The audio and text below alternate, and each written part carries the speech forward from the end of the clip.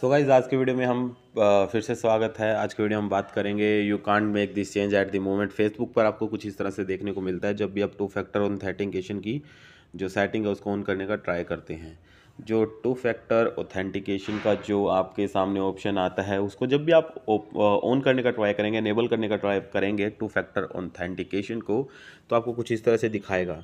तो उसका सोल्यूशन क्या है? आज के वीडियो में उसका सोल्यूशन आपको बताने वाला हूँ। तो इस वीडियो में एंड तक बने रहेगा वीडियो अच्छी लगे तो लाइक कर देना चैनल को सब्सक्राइब कर लेना। तो वीडियो को ज़्यादा लंबा नहीं करते, जान लेते हैं। दो सी सोल्यूशन है। फ़र्स्ट ऑफ़ ऑल तो आपको प्ले स्टोर पर डायरेक्टली आ जाना है। प्ले स्टोर में जैसे ही आप आ जाएँगे, आपको यहाँ पर फेसबुक से रिलेटेड प्रॉब्लम हो रही है तो फेसबुक को यहाँ पर सर्च करेंगे। अब यहाँ पर जो आपकी फेसबुक की एप्लीकेशन होती है, आपको यहाँ पर शो कर रहा है कि आपको अपडेट करना है। तो मैं अपडेट पर इसको लगा देता हूँ। कई बार होता क्या है, जब आपका फेसबुक का पुराना वर्जन होता है, आप आप उसको अपडेट नहीं करते हैं तो पुराने वर्जन्स में जो है यहाँ पर आपको ये प्रॉब्लम देखने को मिल सकती है तो मेक श्योर आप फेसबुक को अपडेट कर लें। तो जैसे ही आप फेसबुक को अप टू डेट कर लेंगे, आप देखेंगे जो आपकी प्रॉब्लम होगी वो सॉल्व हो जाएगी। देन उसके बाद आपको प्रॉब्लम फिर भी सॉल्व नहीं होती है फेसबुक के अंदर। टू फैक्टर ऑथेंटिकेशन की जो प्रॉब्लम है एज इट इज़ बनी रहती है।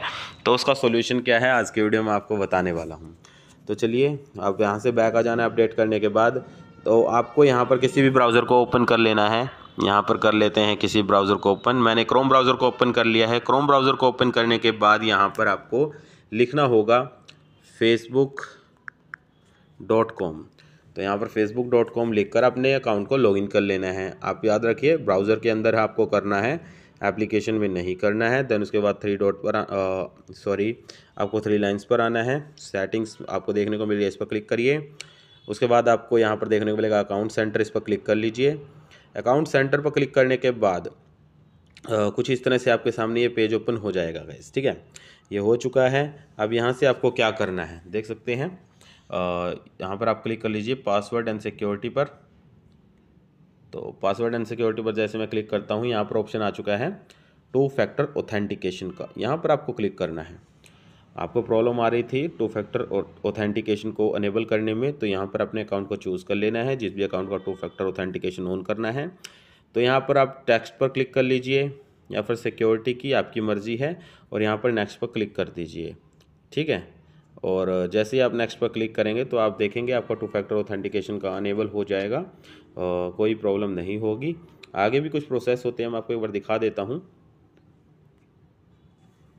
तो यहाँ पर क्लिक करते हैं और नेक्स्ट पर क्लिक करते हैं। आप देख सकते हैं यहाँ पर नंबर दिया हुआ है नंबर को सिलेक्ट करके नेक्स्ट फिर से कर देना है।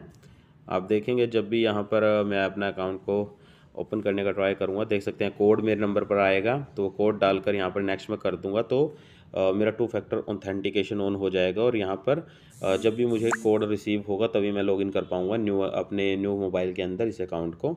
तो इसका ये फ़ायदा होता है कि कोई भी अनजान व्यक्ति आपके अगर उसको पासवर्ड पता चल जाता है, वो डायरेक्टली उसको इनेबल नहीं कर पाता है आपके अकाउंट को, उसको कोड की आवश्यकता रहेगी जब भी वो ओपन करने का ट्राई करेगा या लॉगिन करने का ट्राई करेगा आपके अकाउंट को।